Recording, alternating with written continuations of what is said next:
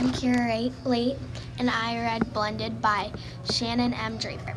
Blended is about an 11 year old girl whose parents get divorced. There's a lot of drama at home and also at school.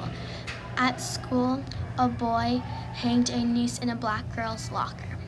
Both of her parents get remarried, and when everything seems fine, her and her brother are charged for robbing a bank. Boom. She falls back. Boom. Shots fired.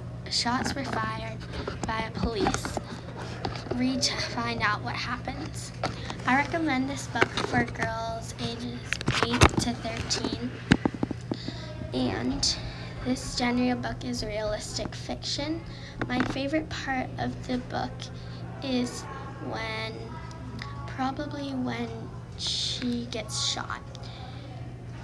Um, I really enjoyed this book. Yeah, that's it.